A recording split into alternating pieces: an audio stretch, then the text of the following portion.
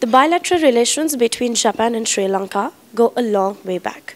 And we are here today to witness yet another significant event uh, where these bilateral relations are getting further strengthened.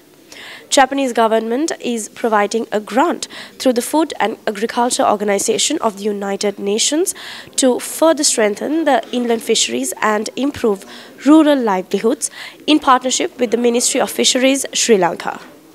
The Japanese government has provided a grant of 3 million US dollars through the Food and Agriculture Organization of the United Nations, also known as FAO, to strengthen inland fisheries and improve rural livelihoods in partnership with the Ministry of Fisheries. The 3 million US dollar initiative will bolster food and nutritional security and fortify resilience by establishing four community-operated mini hatcheries in Batticaloa, Mullaitivu, Anuradhapura and Monaragala districts, upgrade four NAQDA aquaculture development centers and one community operated mini fish breeding center to increase breeding and, and rearing capacity, enhance fingerling stocks in selected reservoirs, develop brood stock for breeding units, and promote cage culture for seed rearing among fisher communities. Ambassador of Japan to Sri Lanka, Mizukoshi Hideaki, stressed on how Japan and Sri Lanka, both island nations, share a deep-rooted appreciation for the importance of fisheries in our economies and cultures.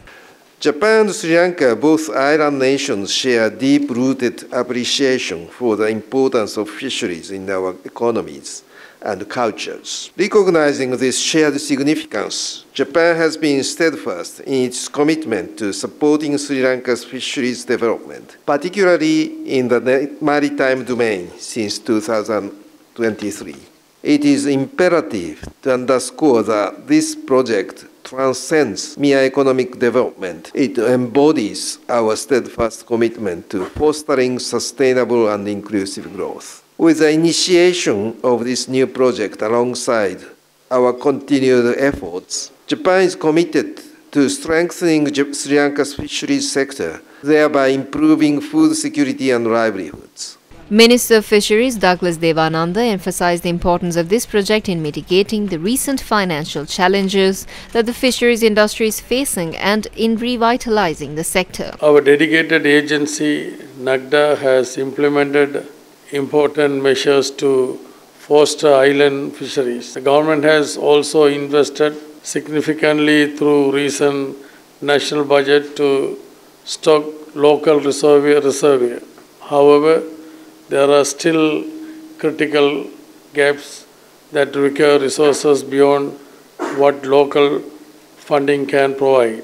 Therefore, this joint initiative by the government of Japan with, with a US 3 million contribution and the FAO is of immense importance. UN Resident Coordinator for Sri Lanka, Marc-Andre Franche, also commented on UN's commitment in empowering fishing communities and reinforcing crucial sectors like inland fisheries.